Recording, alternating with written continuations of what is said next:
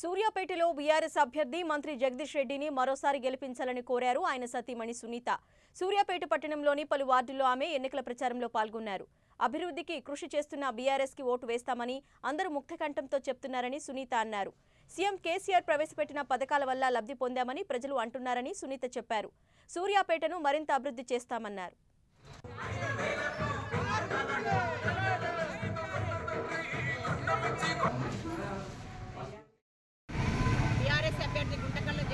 గారి కారు గుర్తు మీద ఓటు వేయాలని ముప్పై ఐదో వార్డులో మేము ఇంటింటికి తిరిగి బొట్టు పెట్టి అందరినీ కూడా ఓటు అభ్యర్థించడం జరిగింది. వాళ్ళందరూ కూడా చాలా బాగా స్పందిస్తున్నారు. అందరూ కూడా ఈ అభివృద్ధిని కోరుకుంటున్నాను. ఈ అభివృద్ధికే మేము ఓటు వేస్తామని కూడా అందరూ ప్రతి ఒక్కరు కూడా కారు గుర్తు మీదనే ఓటు వేస్తామని ప్రతి ఒక్కరు కూడా ముక్త ఖండంతో తెలియజేస్తున్నారు.